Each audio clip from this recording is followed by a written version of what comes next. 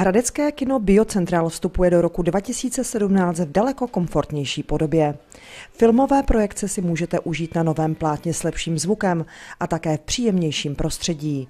Velkou změnou je takzvaná redigitalizace, kdy starou techniku nahradila nová. Ty úpravy by měly završit určitý proces eh, přechodu zase eh, do kvalitních technických podmínek ve vlastnictví města z důvodu i toho, že jsme platili eh, pronájem stávající techniky insolvenčnímu správci, tak máme teďka příležitost tento vztah ukončit a mít ve vlastnictví města novou techniku, která je moderní a odpovídá tím stávajícím parametrům. Nově je také vymalována dvora na foaje a na schodech jsou nové koberce.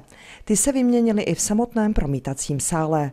Chystají se ještě další změny ve studiu Garzonka. Zastupitelstvo města schválilo také další příspěvek na eh, klimatizaci do Garzonky. Výměna staré promítací techniky za novou bude znamenat mnohem kvalitnější filmový zážitek a městskou kasu přišla přibližně na 3 miliony korun.